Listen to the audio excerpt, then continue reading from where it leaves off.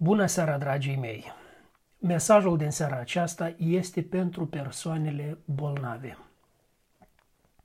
Pentru cei care sunt uh, bolnavi, bolnavi grav, pentru cei care sunt uh, bolnavi pe patul de moarte, care nu știu dacă se vor vindeca de boala aceasta, pentru oricine este bolnav. De asemenea, mesajul acesta este pentru toți cei care le sunt scumpi persoanele bolnave, toți cei care se gândesc la ei, toți cei care suferă acum împreună cu persoanele bolnave. Pentru voi este mesajul și tare mult vreau să luați bine seama la mesajul acesta. Uh, cei care sunt bolnavi, ei se roagă pentru vindecare. Uh, toți apropiații lor care au credință în Dumnezeu de asemenea se roagă pentru vindecarea celor bolnavi. Uh, în mesajul acesta vreau să vă învăț cum să vă rugați corect pentru cei bolnavi, cum să se roage corect cei care sunt bolnavi, cum să se roage corect ceilalți oameni. Deci vă rog să fiți culoare aminte la mesajul pe care vi-l voi spune din Cuvântul lui Dumnezeu. Când merg să mă rog uh, pentru oamenii care zac în spitale, am observat câteva lucruri. Am observat că aproape fiecare din ei, poate fiecare um, 4 din 5. 4 din 5 persoane la patul lor numai decât au o carte de rugăciune. Și uh, ei citesc, continuu citesc aceste rugăciuni care au fost scrise de alții, le citesc, le recitesc. Uh, chiar uh, când am fost acum recent, o doamnă mi-a citit o rugăciune adresată Maicii Domnului și multe din uh, acele rugăciuni sunt adresate Maicii Domnului. Însă am văzut că lipsește acolo Biblia, de multe ori oamenii au carte de rugăciuni, citesc și recitesc rugăciunile acestea, crezând că recitirea continuă a rugăciunilor le va aduce vindecare. Dar lipsește cuvântul lui Dumnezeu, nu au acolo Biblia, nu au Noul Testament, care este a doua parte a Bibliei. Știți că Biblia este uh, o carte, un volum alcătuit din 66 de cărți sfinte. În Vechiul Testament sunt 39 și în Noul Testament sunt 27 de cărți. Noul Testament este învățătura Domnului Isus Hristos. Primele patru evanghelii sunt biografii ale Domnului Isus Hristos scrise de ucenicii lui, apoi urmează cartea Faptele Apostolilor, unde este istoria primei biserici și după aceea urmează epistolele scrise de Apostolul Pavel sau de ceilalți apostoli și ultima carte este Apocalipsa, cartea care scrie despre evenimentele următoare. Ei, cei mai mulți oameni citesc Noul Testament, dar ar trebui noi creștinii să citim întreaga Biblie, dar dacă nu, măcar Noul Testament să-l citim, pentru că aici este învățătura Domnului nostru Isus Hristos. Vă zic, când merg în spitale și mă rog cu oamenii, la cei mai mulți au cărți de rugăciune, au rugăciuni, chiar am văzut la o doamnă avea uh, rugăciuni scrise de mână pe care le citește și le recitește mereu, dar lipsește acolo Biblia, Cuvântul lui Dumnezeu, Nou Testament. Deci, dragii mei, dacă acum sunteți bolnavi, dacă stați în spital, vreau să vă zic, primul lucru de care aveți nevoie este Cuvântul lui Dumnezeu, Biblia. Nu cărți despre Cuvântul lui Dumnezeu, aveți nevoie de Cuvântul lui Dumnezeu însăși. Biblia, Nou Testament, Biblia întreagă, aveți nevoie de ea ca să o citiți să citiți pentru că Dumnezeu vă va da cunoștință despre El și așa, prin cuvântul Său, Dumnezeu vă va, vă va da vindecare. Acum, ă, trebuie să vă rugați lui Dumnezeu. Am văzut că unii vă rugați ă, Fecioarei Maria, vă rugați Sfinților, dragii mei, rugați-vă la Dumnezeu în numele Domnului nostru Isus Hristos. Pentru vindecarea voastră, rugați-vă la Dumnezeu, cereți vindecare de la Dumnezeu. Și uh, iată, vreau să dau citire unui text din Biblie, din Noul Testament. Sfântul Iacov a scris astfel în epistola care îi poartă numele. El scrie așa, este vreunul printre voi bolnav? Să cheme pe prezbiterii bisericii și să se roage pentru el după ce îl vor unge cu un de lemn în numele Domnului. Rugăciunea făcută cu credință va mântui pe cel bolnav și Domnul îl va însănătoși și dacă a făcut păcate, îi vor fi iertate. Mărturisiți-vă unii altora păcatele și rugați-vă unii pentru alții ca să fiți vindecați. Mare putere are rugăciunea fierbinte a celui neprihănit. El era un om supus acelorași slăbiciuni ca și noi și s-a rugat cu stăruințe să nu plouă și n-a plouat deloc în țară trei ani și șase luni. Apoi s-a rugat din nou și cerul a dat ploaie și pământul și-a dat rodul. Vedeți, în textul acesta scrie despre o situație a unui om bolnav, a unui creștin, a unui credincios bolnav și îi spune aici ce trebuie să facă.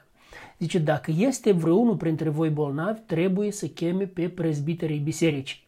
Trebuie să-l chem pe pastorul tău, prezbiterii bisericii din care faci tu parte. Cheamă-l pe omul acesta ca să se roage pentru tine și zice să se roage după ce va face ungerea, ungerea cu un de lemn. Deci pastorul va face ungerea cu un de lemn, pastorul se va ruga pentru tine, dar să nu crezi că aceasta este suficient ca să te vindeci. Mai sunt câteva lucruri deosebit de importante pe care trebuie să le faci. Ascultă atent care sunt acestea. Spune rugăciunea făcută cu credință va mântui pe cel bolnav. Este foarte important ca pastorul să aibă credință, oamenii care se roagă pentru credință, pentru vindecarea celui bolnav, să aibă credință, inclusiv cel bolnav să aibă credință. Zice, rugăciunea făcută cu credință va mântui pe cel bolnav și Domnul îl va însănătoși și dacă au făcut păcate, vor fi iertate. Și apoi, imediat, următorul verset spune, mărturisiți-vă unii altora păcatele și rugați-vă unii pentru alții. Asta ne spune nou la toți creștinii. Rugați-vă unii pentru alții ca să fiți vindecați. Mare putere are rugăciunea fierbinte a celui neprihănit. Deci nu e suficient să se roage doar pastorul. Trebuie să se roage toți creștinii pentru cel care este bolnav, dar aici este o condiție deosebit de importantă pusă celui bolnav. Spune că el trebuie să-și mărturisească păcatele. A mărturisi păcatele înseamnă a recunoaște păcatele, a recunoaște în ceea ce ai greșit, a cere iertare pentru ceea ce ai greșit și a lua hotărârea și decizia de acum înainte să nu mai săvârșești păcatele pe care le-ai făcut. De aceea, cei care sunteți acum bolnavi, cei care stați pe pat de moarte, cei care sunteți bolnavi de cancer sau alte boli, acum vreau să vă gândiți foarte bine și să vă cercetați voi, fiecare pe voi. Să vă gândiți bine care sunt păcatele și greșelile care le-ați făcut voi împotriva oamenilor. Gândiți-vă, faceți-vă o evaluare a trăirii voastre, a relațiilor voastre și apoi chemați pe oamenii aceștia, chemați telefonați-le la oamenii aceștia și cereți-vă iertare. Cereți-vă iertare nu așa formal cum o fac unii, știți? E mă rog și mă iartă, dar o zici formal, n-are nimic a face. Ceva de felul cum a făcut-o Alexandru Lăpușneanu înainte de a-i, ă, de a-i omorâ pe cei 47 de boieri. Ați citit Alexandru Lăpușneanu de Costache Negruțe. Ați citit cum înainte de a-i omorâ pe cei 47 de boieri s-a dus la biserică. Boierii toți erau adunați în biserică. El a trecut și a pupat toate icoanele. După aceea s-a întors la boieri și le-a zis la toți, mă rog de mă iertați. Dar în mintea lui era un alt gând. El avea gândul să-i cheme acasă ca și cum să sărbătorească împăcarea și acasă i-a junghiat pe toți. Toți au fost omorâți. Ei, nu, dragul meu, nu astfel de iertare să-ți ceri să-ți ceri o iertare din toată inima. Deci gândește, verifică bine care sunt relațiile tale. Gândește pe cine, cum l-ai supărat. Ai poate păcate ascunse, lucruri rele care le-ai făcut și despre care poate oamenii nu știu, dar tu ai făcut lucruri rele împotriva lor gândește bine, fă o evaluare. Este bine chiar să-ți iei un carnet, așa cum stai tu pe patul tău de boală, ia-ți în mână un carnețel și scrii pe carnețel numele persoanelor și ce ai păcătuit împotriva lor, împotriva celor persoane. Și apoi iai rând pe rând și cereți iertare de la fiecare din aceste persoane. Cheamă-i la patul tău, dacă nu pot veni, dacă sunt prea departe, telefonează-i, vorbește-le, cereți iertare rând pe rând. Vezi, aici spune că este o condiție de bază ca să fiți vindecați. Zice, mărturisiți-vă unii altora păcatele și rugați-vă unii pentru alții ca să fiți vindecați. Dacă nu-ți mărturisești păcatele, nu te aștepta la vindecare. Mărturisește-ți păcatele. Nu totdeauna păcatul este pricina bolii, dar în cele mai multe cazuri este păcatul pricina bolii. De aceea, ca să excluzi pricina aceasta, mărturisește toate păcatele și cereți iertare de la toți oamenii pe care i-ai împotriva cărora ai păcătuit. Apoi spune aici să ne rugăm unii pe alții, pentru alții. Este foarte important să ne rugăm unii pentru alții, pentru vindecarea celor bolnavi. Și de aceea, dragii mei, totdeauna în rugăciunea voastră includeți în lista voastră pe cei bolnavi. Totdeauna gândiți-vă la cei bolnavi și să-i aveți în lista voastră uh, la rugăciune. Când veniți la rugăciune, să-i avem în lista noastră pe cei bolnavi până când ei se vor vindeca.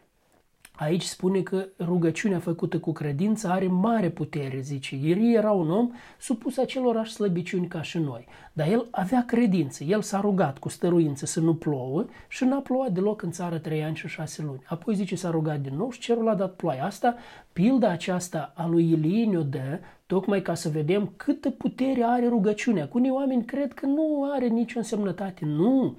Rugăciunea are foarte multă putere. Tocmai de aceea merg să mă rog pentru bolnavi și tocmai de aceea ni se cere să ne rugăm toți pentru bolnavi. De aceea ne îndeamnă Dumnezeu pe toți să mergem și să ne rugăm, dragii mei, pentru bolnavi. Asta să o facem neapărat cu toții.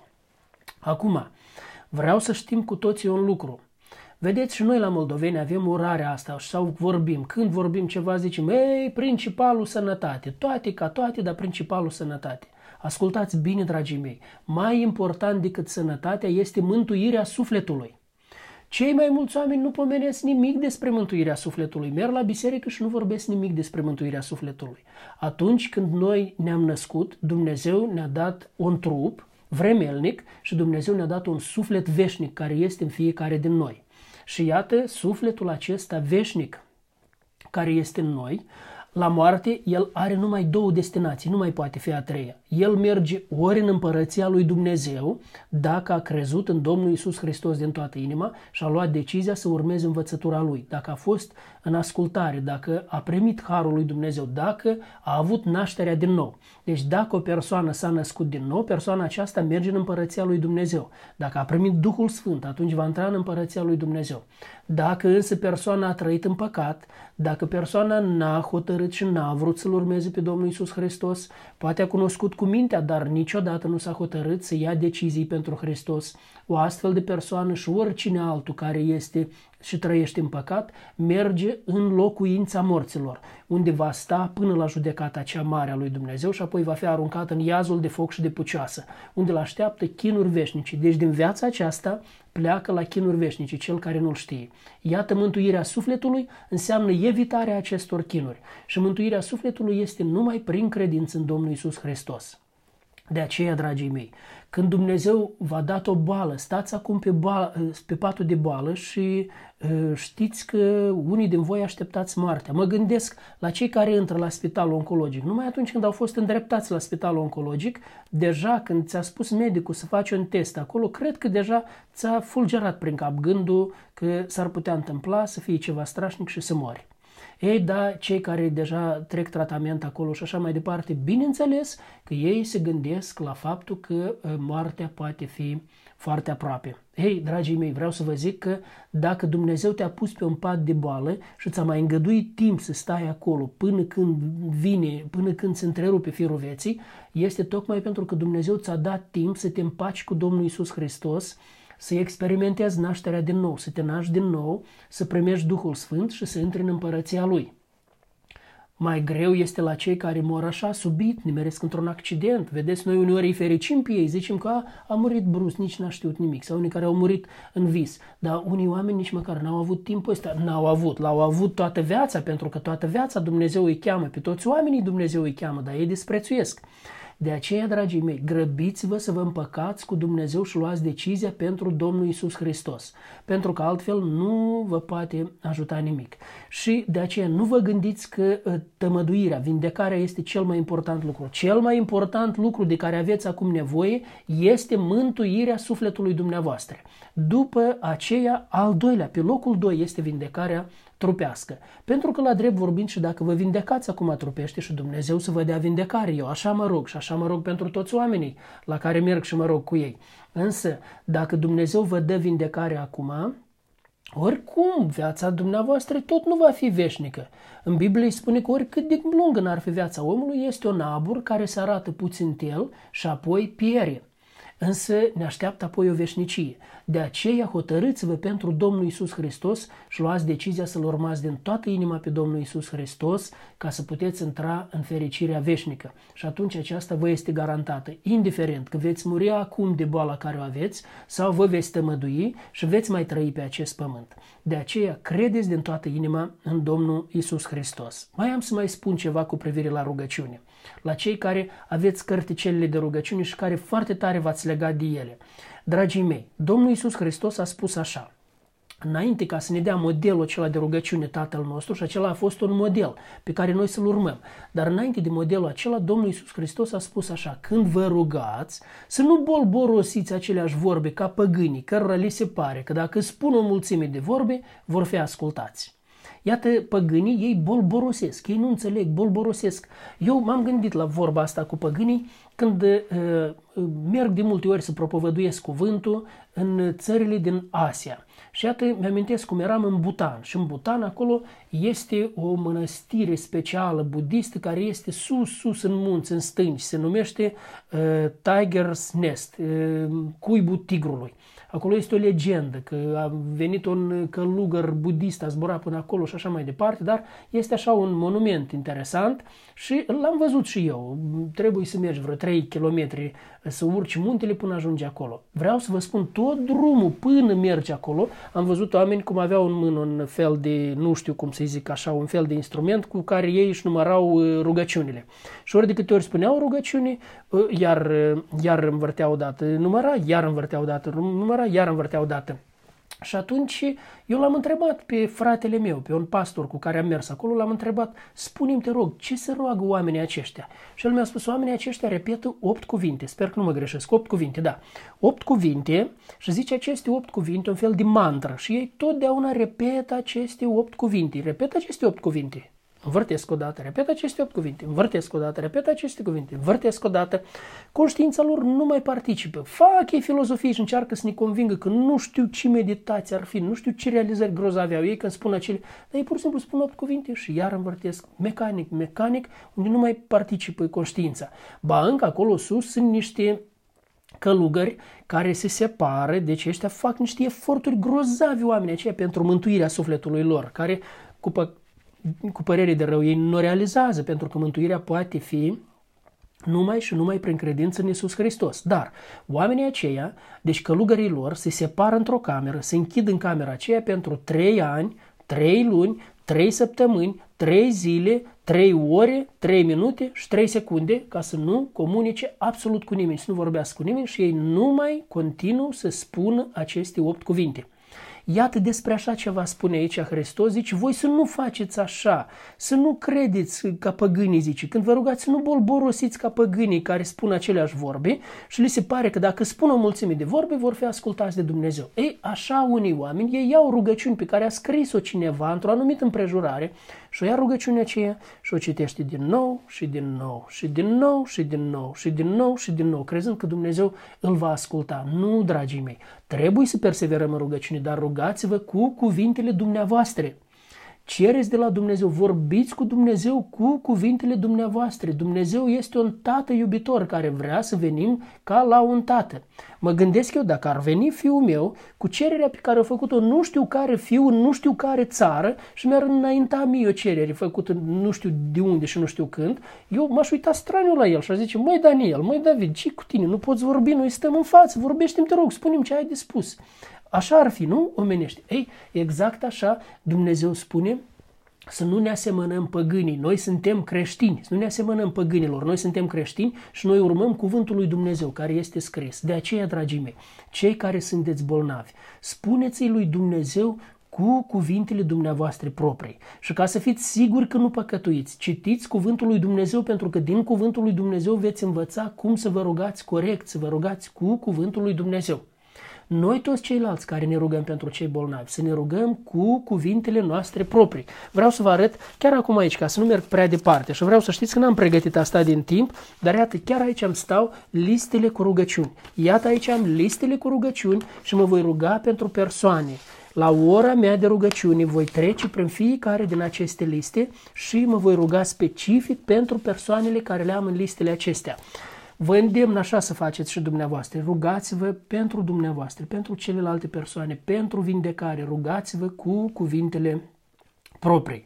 Și un ultim mesaj pe care vreau să vă-l spun la urmă este, vă rog ca acest video, când îl priviți, când ascultați acest mesaj, vă rog să îl trimiteți acest mesaj mai departe faceți un share la acest mesaj. Dacă faceți un like, îl faceți mai vizibil pe internet, așa ca să poată să-l accese, să-l, uh, să fie accesibil și pentru alții.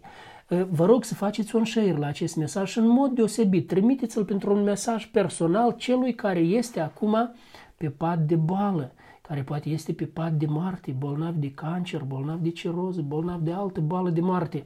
Trimiteți-l la acești oameni ca să asculte cuvântul lui Dumnezeu, ca să învețe cum să se roage. Și rugați-vă dumneavoastră pentru ei, iar cei care sunteți bolnavi, faceți așa cum v-am învățat din cuvântul lui Dumnezeu. V-am vorbit din cuvântul lui Dumnezeu și v-am dat referința.